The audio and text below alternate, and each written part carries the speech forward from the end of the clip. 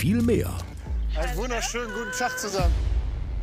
Krass, das sind die Neuankömmlinge. Oliver Sanne. War der nicht vor zehn Jahren mal irgendwie Bachelor? Guck mal, wie dumm bist du blöd. bist, Alter. Ich will in dein Jeder weiß hässliches, doch, du fettes. Gesicht rotzen. Boah, Alessia, ne? Dass die dich immer noch nicht rausgekickt haben, wundert mich wirklich. Also gerade nach dieser Gewaltandrohung, was letzte Woche passiert ist. Aber die scheint auch nicht wirklich mit ihrem Mann respektvoll umzugehen. Hallo und herzlich willkommen zurück, meine lieben Little YouTuber. Ich bin's Tanner und ich freue mich sehr, dass ihr wieder eingeschaltet habt. Es geht weiter mit Sommerhaus der Irren Folge 5. Letzte Woche hatten wir die Nominierung. Ähm, Da ist ja so einiges durcheinander gekommen. Raoul ist enttäuscht von Stefan, weil er die Allianz irgendwie zunichte gemacht hat. Der hat sich ja kurzerhand entschieden, Tessa und den Jakob zu nominieren. Apropos Tessa, da werde ich auch gleich nochmal was zu sagen, weil die hat zu meinem letzten Video, was ich ja über sie, ähm, wo ich sie kritisiert habe, sie meinte ja, das gibt keine Krankheiten. Dazu hat sie ähm, unter meinem Video einen Kommentar abgegeben. Das muss ich auf jeden Fall gleich nochmal mit euch ganz kurz ansprechen, anreißen. Ähm, dann gibt es halt eine Exit-Challenge nach der Nominierung zwischen Theresia Stefan und Tessa Jakob. Bin mal gespannt, wer von den beiden es schafft. Wir haben Neuzugang Oliver Sanne und seine neue Freundin Jill.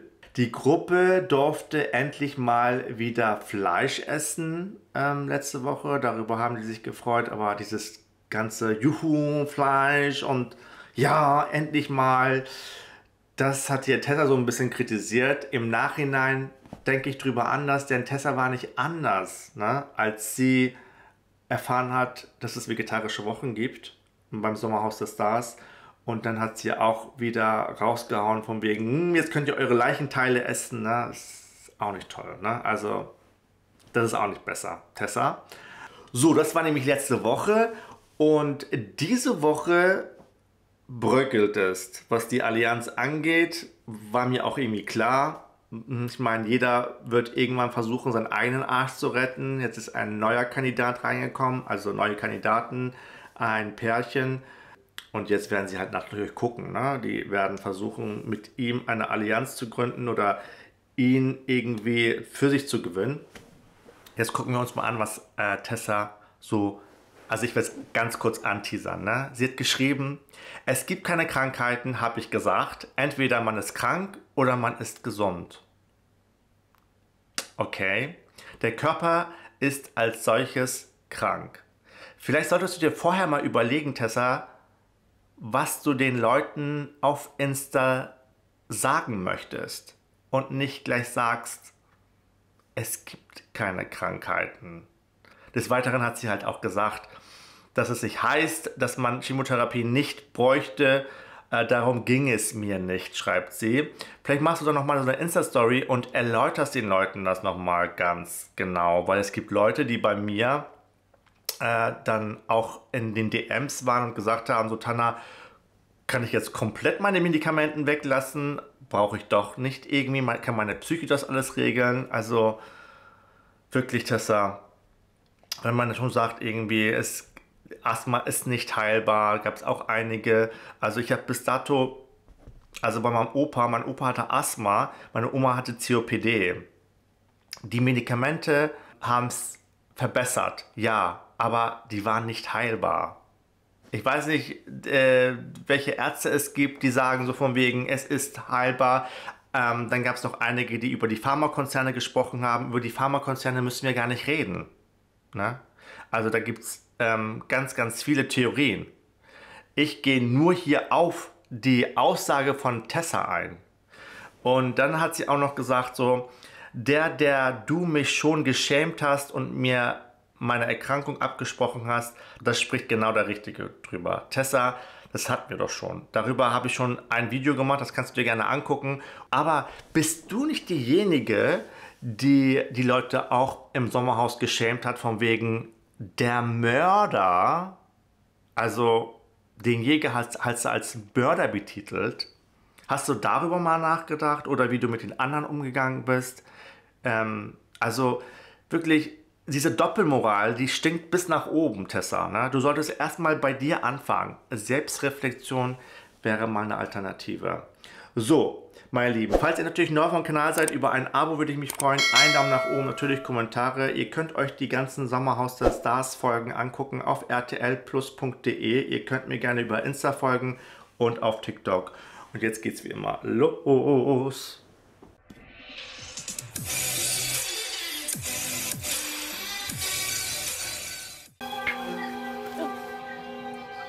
Bäh.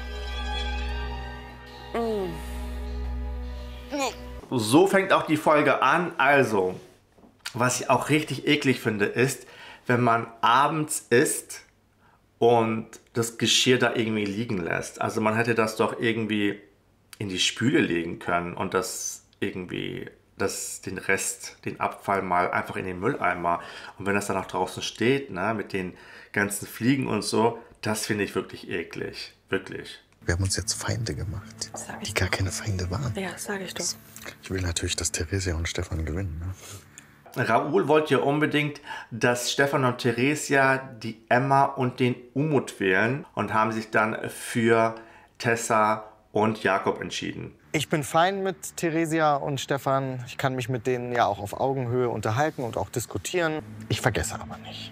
Also der vergisst es nicht, der ist ja der Leader der ganzen Mannschaft, obwohl er sagt, er wäre so ein Mitläufer, ähm, versucht uns irgendwie den Wind aus den Segeln zu nehmen, aber ich meine, wir sind doch nicht dumm, wir sehen doch, wie du mit den Leuten umgehst. Doch mal deinen Mund zu, Alter. Ich bin am Essen, ja, hust hier voll rum. Ich habe Allergie. Hatte sie nicht irgendwie Asthma und das jetzt irgendwie geheilt ist und jetzt hat sie eine Allergie? Ich werde wirklich nicht aus dieser Frau schlau. Ne? Heute sagt sie A, morgen sagt sie B und während Jan isst, hustet sie da rum, ohne ihre Hand vor dem Mund zu halten? Oder habe ich das falsch verstanden? Reiß dich mal zusammen. Es gibt Menschen, die haben Allergie. Ich habe allergisches. Asthma. Du Und du kannst auch die Klappe halten. Du bist die, die verrückt ist. Merkst du, wie du agierst? Was du machst, ist verrückt. Okay, sie stempelt Alessia ab als verrückt. Merkst du, Tessa, ne? Also, was du da alles von dir gibst, ist auch nicht cool. Und ich meine, das, was Alessia letzte Folge gemacht hat, diese Gewaltandrohung, sie hätte sofort rausfliegen sollen. Aber Tessa, das rechtfertigt nicht, was du hier gerade machst. Ne? Und eine allergische Asthma-Reaktion hat sie anscheinend. Okay. Das kann ja wieder heilen, ne? Aber sie sprach von Asthma. Asthma ist keine Krankheit, meinte sie. Halt die Klappe einfach. Boah, ey, du Hexe, ey. Keiner mag sie mehr, wirklich nicht. Also, da muss sie sich auch nicht wundern, wenn sie dann am, später dann sagt, so von wegen, alle sind gegen mich, alle mögen mich nicht, aber dann musst du echt bei dir anfangen, Tessa, wirklich. Ich wurde gerade von ähm, diesem kleinen ähm, Ego-Mann angegriffen, weil ich angeblich jetzt essen muss, obwohl ich so gemacht habe. Von dem kleinen, ekligen Mann, sagt sie, ne? Von dem Kleinen. Ne? Da schämt sie ihn auch wieder. Ne? Und dann spricht sie von mir, dass ich sie schäme. Du musst wirklich echt überlegen, was du sagst. Ne? Also, ich sag ja immer, zwischen den Ohren sitzt das Gehirn. Ne? Das ist unser Gedenkenswerkzeug, Tessa, das wir nutzen sollten manchmal. Aber bei dir scheint es überhaupt nicht irgendwie ja, zu nutzen. Ne? Also es bringt irgendwie nichts bei dir. Einer von denen wird irgendwann beeinflussbar sein. Das ist der Punkt. Das ist der Punkt. Und dann, bam. So, Umut hofft natürlich, dass es bröckelt und das wird es auch. Und dann wird einer von denen wahrscheinlich äh, beeinflussbar sein. Und dann kann er, wie gesagt, weitermachen, der Umut, ne? Die weiterhin manipulieren. Er hat es irgendwie nicht geschafft. Raoul war da besser. Mal gucken, ne? was sich da noch ergeben wird, diese Folge.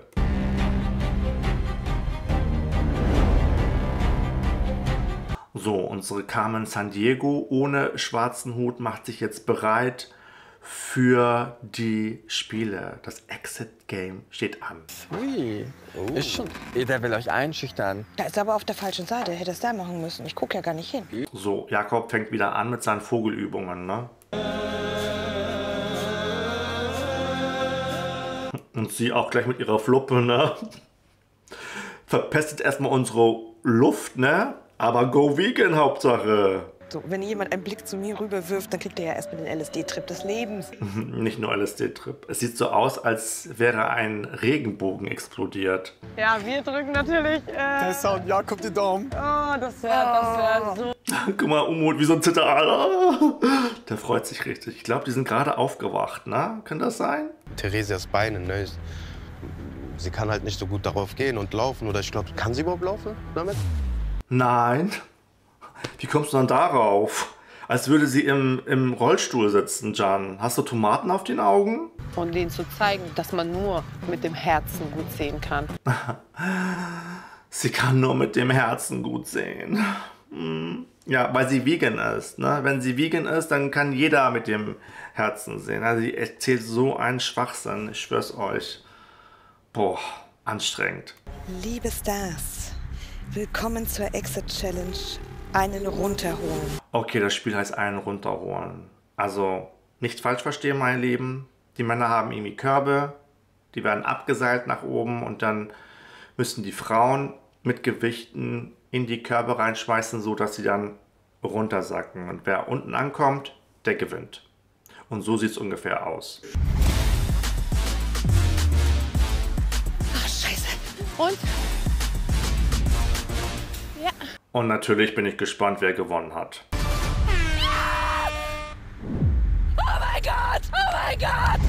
Die Vegans haben verloren, Theresia und Stefan haben gesiegt. Alle freuen sich.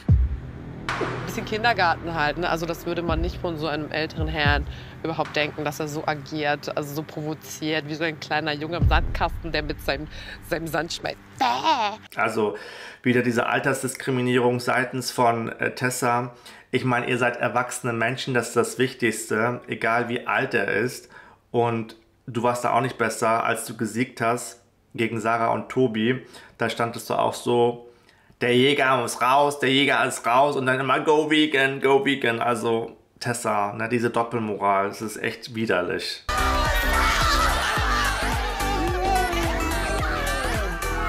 Guck mal, wie die sich freuen, weil sie sich so bedroht von uns gefühlt haben. Nein, nicht bedroht. Du hast einfach genervt. Die, du warst wie so eine Axt im Wald, also wie so ein Klotz am Bein. Die ganze Zeit. Miese Stimmung durch dich. Es ist eigentlich auch ein Sieg für uns, ne? Und für die Tiere auf jeden Fall.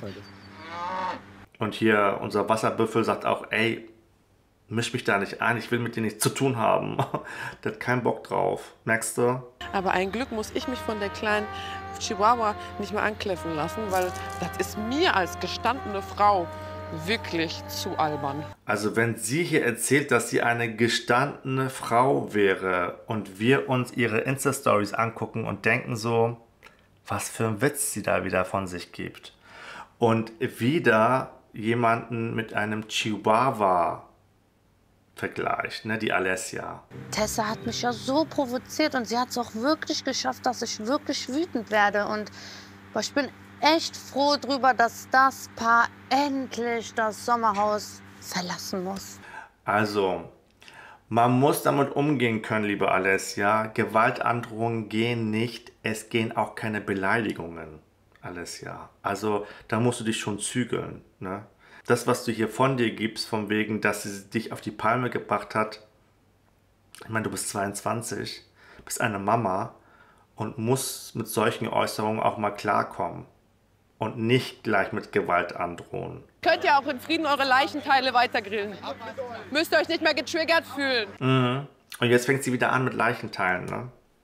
Und da ist sie wirklich nicht ein Stück besser. Das ist doch deine letzte Show. Oh, willst du auch noch ein bisschen Sendezeit, Alessia? Mit dir doch Du gerne, kleiner Chihuahua. Kleff, Kleff. Auf jeden Fall kann sie sich wehren, ne? Auf Insta meinte sie, ich habe nur noch Liebe übrig für Alessia, glaube ich. Oder sie kann nichts dafür, aber schaut mal, wie sie hier damit umgeht, ne? Ah, so fühlt sich Freiheit an. Und jetzt direkt irgendwo in ein Burger-Restaurant und einen veganen Burger, bitte. Und Tofu. Tofu, weißt du, wie ich Tofu vermisst habe? Ja, bye, ey, auf Nimmerwiedersehen, bitte. Beim leicht geleerten Sommerhaus platzt wer Neues aus den Nähten raus. Krass, wie sieht der dann aus? Was hat er denn eingenommen? Der hat sich ja verdoppelt, ne? Also ein richtiger Muskelprotz Herkules ist er geworden. Ja, vor über zehn Jahren mal der Bachelor. Mittlerweile hat man sich offenkundig verdoppelt. Wow, was für ein Unterschied, oder? Also der sah doch früher viel hübscher aus, als er nicht so irgendwie sich gespritzt hat, weil ich meine, so aus Natur kann man, glaube ich, so nicht werden. Ich glaube, 2014 war auch Mr. Germany, oder? Okay, da kommt. Ein Schrank. Servus, Olli. Hi, Theresia. Alles gut?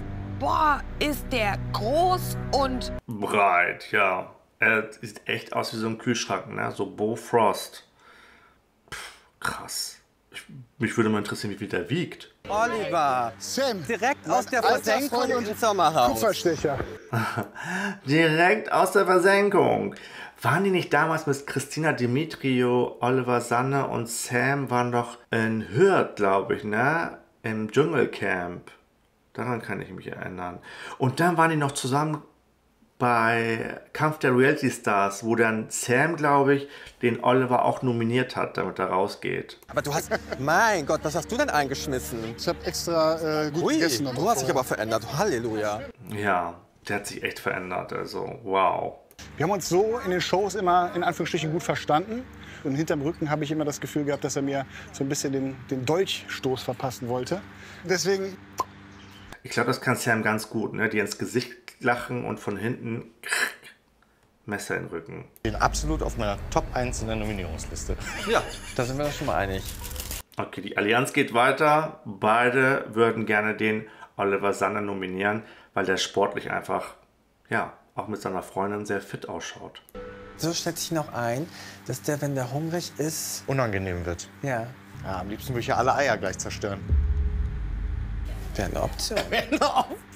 Ja, viel Eiweiß, ne? Sofort den Gegner ausschalten. Hm, mal gucken, ob er überhaupt Eier mag, ne? Mach die weg, aber nur wir wissen das. Nur wir. Ja, ja. Versprochen. Ja, versprochen. Komm, kleiner Finger. Kleiner Finger. Da rein. Das ist auch abartig, oder? Das Essen ist für jeden da. Auch die Eier, nur weil sie denken, so von wegen, hm, der macht sich bestimmt Eiweißshakes oder so mit den Eiern oder will ganz viele Eier essen, äh, packen wir mal jetzt die Eier weg. Also, das geht auch nicht, ne? Das ist auch so ganz eklig, finde ich. Eier esse ich gar nicht so viele, weil ich die gar nicht so gerne mag, um ehrlich zu sein. Ach, und Eier mag er nicht. Zum Glück nicht, ne? Ich sterbe vor Hunger. Ist für dich richtig Diät, ne? Und so ist er wahrscheinlich 24 Stunden, ne? Weil, wie soll man dann sonst so werden? Also ich kann nur sagen, den muss man ganz schnell loswerden. Und Sam fängt sofort an, alle zu manipulieren. Ne? Der muss sofort raus, der Oliver Sander. Zusätzlich zur großen Jause gibt's eine chiffrierte Infosause. So, der Umut macht jetzt Indianerzeichen, damit ja draußen die Allianz nicht mitkriegt, worüber sie hier sprechen. Er will den Oliver und die Jill warnen vor der Allianz.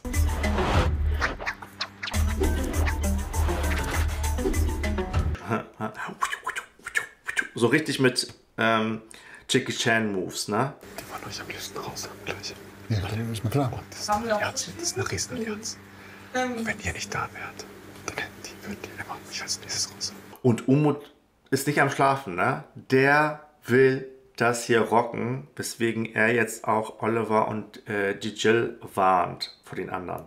Was jetzt lustig ist, ne? Also wird einiges ausgepackt. Ähm, die spielen ein Spiel und zwar Flaschen drehen. Zuerst waren Umut und die Emma dran und dann haben sie Emma gefragt von wegen äh, mit dieser Fremdgeh-Sache, was die Eltern davon halten würden und ob sie den Umut akzeptiert haben und wie der Umut sich dabei fühlt. Die Fragen wurden dann beantwortet und jetzt kam die Flasche auf Jan und Jan stellt eine sehr intelligente Frage. Hört mal zu. Wir hatten eine Allianz.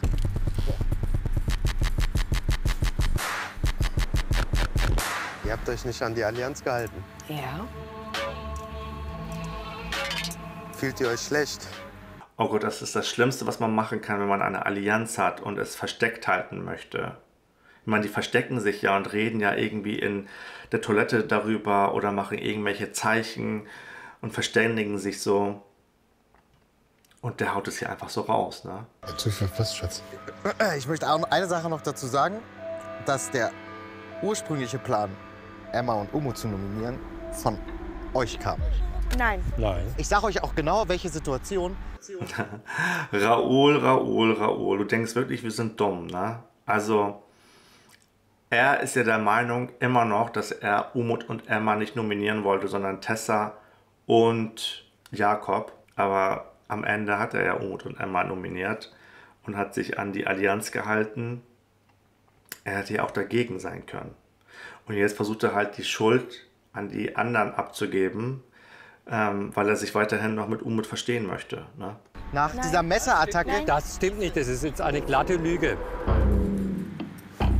Und jetzt kommt er damit überhaupt nicht klar, der Raoul. Ganz ehrlich, Raffi, wir sagen hier gar nichts. Also so, also bitte. Doch. Also sag mal, ich werde hier gar nichts über Allianzen oder irgendwas erzählen. Wo bin ich denn hier? Ich bin doch jetzt nicht hier bei ZDF oder keine Ahnung was in der Talkrunde. Nee, der Sam möchte sich nicht irgendwie dazu äußern, möchte nicht transparent dort rumlaufen, sondern möchte, dass die Allianz eigentlich geheim bleibt.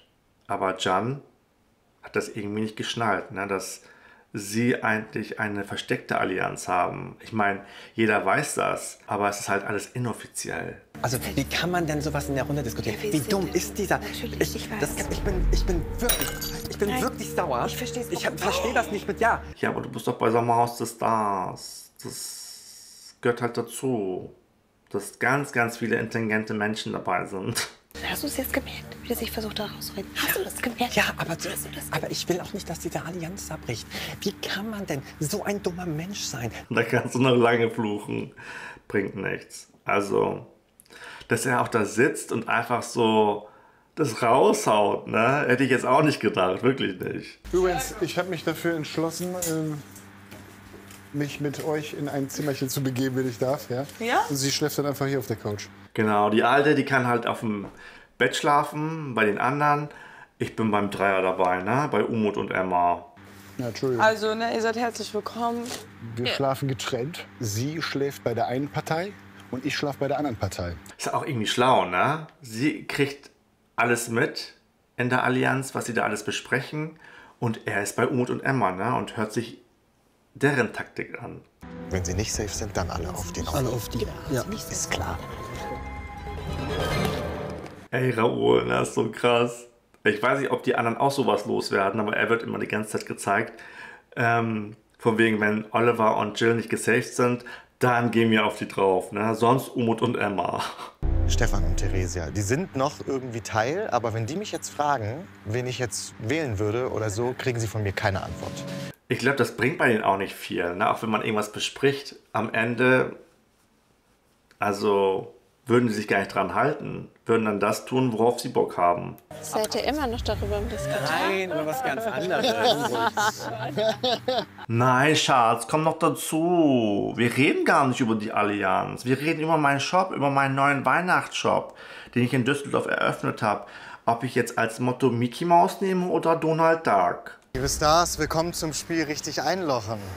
Bei diesem Spiel müsst ihr Fragen beantworten und ein Lösungswort bilden. Das neue Spiel steht an, richtig einlochen. Die Anfangsbuchstaben der Antworten befinden sich auf den Bällen, die in das jeweilige Loch gerollt werden müssen. Kommunikation auch. Ja, also das Das ist. ist ja ein Problem bei Ich glaube, das ist ja nicht nur ein Problem bei euch jetzt, sondern es war auch in der vorigen Beziehung mit Nicola, glaube ich, oder? Sollen wir aufgeben? Gibst du auf? Ich krieg keine Antwort. Ich weiß auch keine Antwort. Krass, die haben aufgehört, ne? Ist ja auch anstrengendes Spielen, ne? Und die Fragen natürlich, ne? Allgemeinbildung ist ein bisschen fehl am Platz bei denen. Kann ich mehr. Er konnte auch nicht mehr. Was machen die denn immer für Sport und haben immer tolle Arme, aber kriegen das nicht gebacken? Klar, sie hat auch manche dumme Sachen da gezogen. Das hätten wir uns auch sparen können. Also es gibt mir bitte nicht die Schuld, dass ich da... Und ja- außerdem sei froh, wenn ich gezogen habe. Da musstest du weniger ziehen, weniger halten. Ey, typisch Raoul, oder? Der gibt immer die Schuld den anderen, obwohl er ja derjenige ist, der die Schuld trägt. Es ist genauso eben gewesen mit dem Flaschendrehen, wo er dann einfach gesagt hat, ihr hattet Schuld, dass ich äh, Emma und Umut nominiert habe. Also immer schön die Schuld auf andere schieben. Machen wir dieses ver ver Drecks SPD in die ver Drecks 5 rein, dass wir endlich unsere Ruhe haben vor diesem Drecks Nein, mein Lieben, das ist kein Tourette, das ist Gloria. Schatz, lass mal locker, mein die Gott. Schulter tut weh, wird Schatz, die war doch mal ausgekuppelt. Das Ja, heißt, das ja, tut ja, weh. ja. Es ist scheiße, wenn das immer alles bei mir hängen bleibt. Meine Schulter tut weh. Fuck. Krass, er gibt sich so Mühe, ne? Und sie ist so, also hat wenig Empathie, finde ich. Und kann nicht drauf eingehen. Und er hat ja schon Probleme mit der Schulter. Ich glaube, irgendwas ist da ausgekugelt gewesen. Aber es juckt sie nicht. Lösung! Lösung! Zack, Alter! So die einzigen, die es geschafft haben, ne? Bei dem Spiel. Hut ab. Aua, der ist operiert.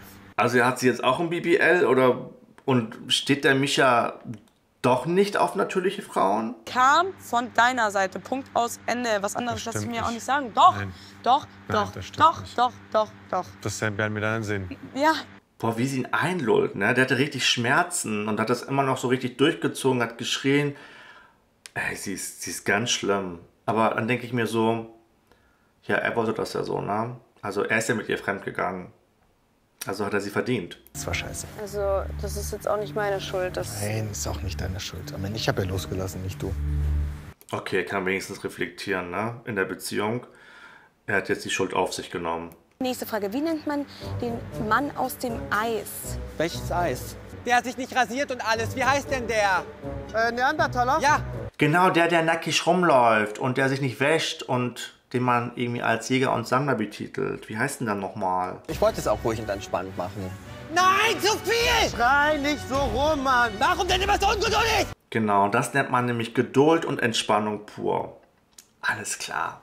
Ich will gar nicht wissen, wenn er mal in Rage ist, wie er sich dann benimmt. Ich krieg das nicht mehr hoch. Wenn es nicht geht, was soll ich machen?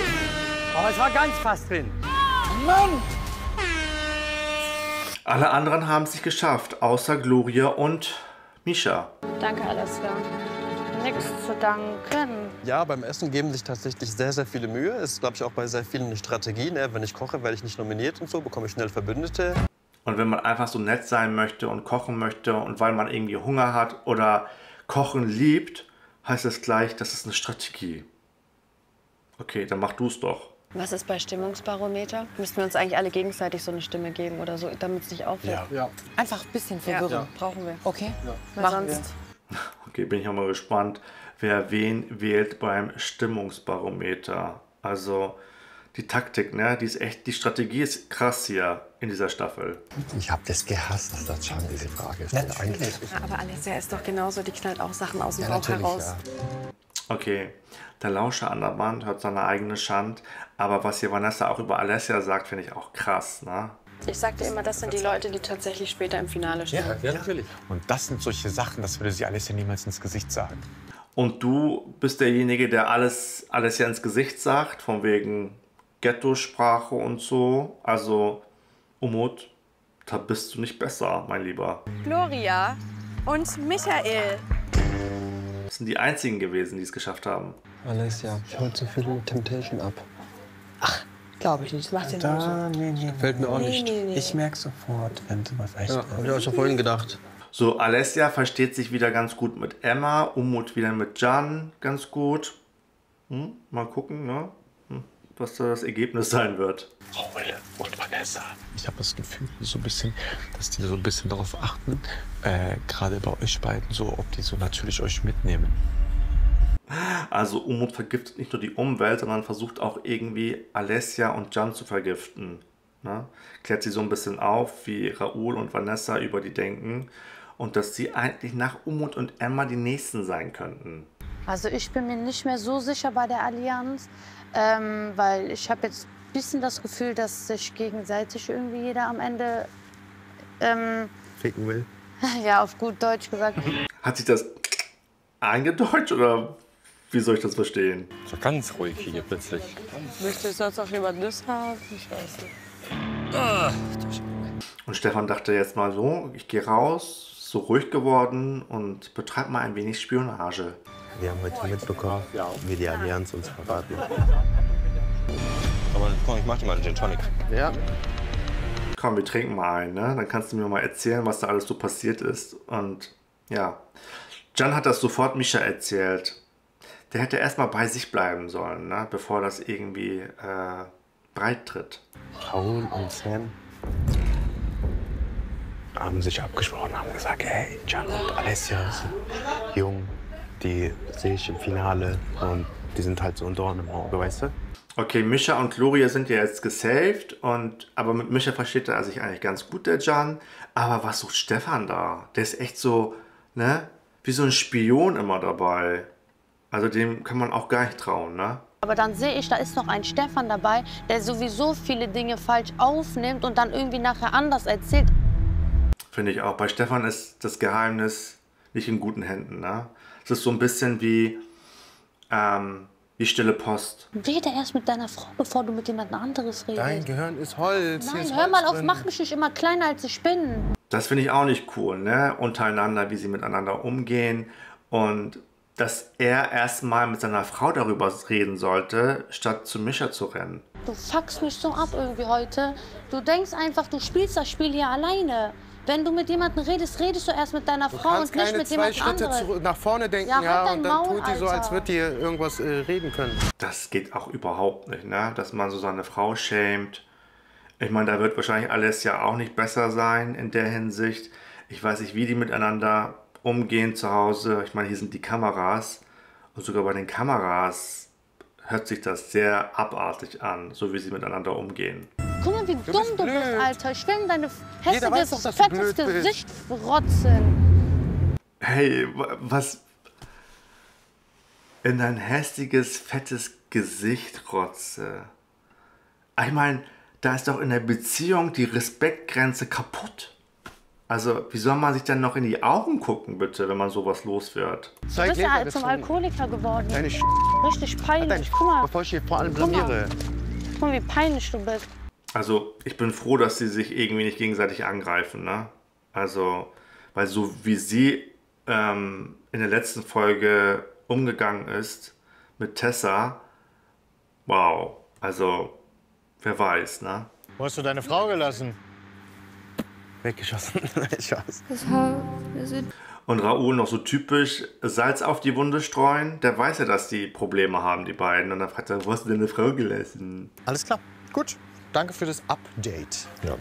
Stefan ist jetzt mal ganz schnell äh, zum Chef der Allianz gelaufen, um ihn zu updaten. Und Raoul freut sich natürlich, ne? Und er sagt irgendwie Raoul, von wegen in seiner Insta-Story, ich war doch nur der Mitläufer. Hm? Raoul merkst du. Das, was wir besprochen haben, genau. Der Plan steht. Der Plan steht. Der Plan steht. Fantastisch. ich liebe dich, mein Freund. Ja. Ich liebe dich, mein Freund. Aber wenn er da mit anderen spricht, ne, dann ist das nicht mehr so. Ne? Und dass Jan darauf nochmal eingeht, ich glaube, Jan lacht ihm einfach ins Gesicht und macht das, worauf er Lust hat. Und das werden wir gleich in, beim Stimmungsbarometer ja mitkriegen. Theresia und Stefan, eine Stimme. Alessia und Chan, zwei Stimmen. Raoul, Vanessa, vier Stimmen. Alle anderen Paare haben null Stimmen. Krass, Umut denkt so, hä? Ganz sicher? Guck noch mal drauf. Keiner hat uns irgendwie nominiert. Am meisten haben Raoul und Vanessa abgekriegt. Und ich bin mal gespannt, von wem. Also mit eurer Stimme haben wir schon gerechnet. Mit unserer Stimme?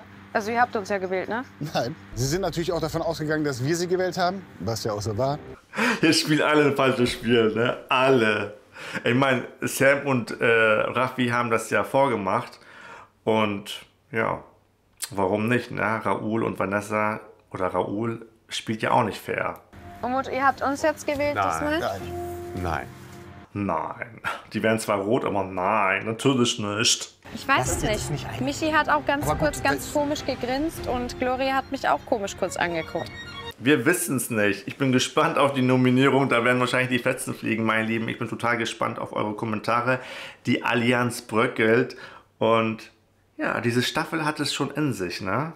Also, ich bin froh, dass Tessa und Jakob rausgeflogen sind. Also, die haben wirklich genervt. Vor allem Tessa hat richtig genervt. Oliver Sanne ist reingekommen mit seiner Freundin. Hat eine krasse Typveränderung.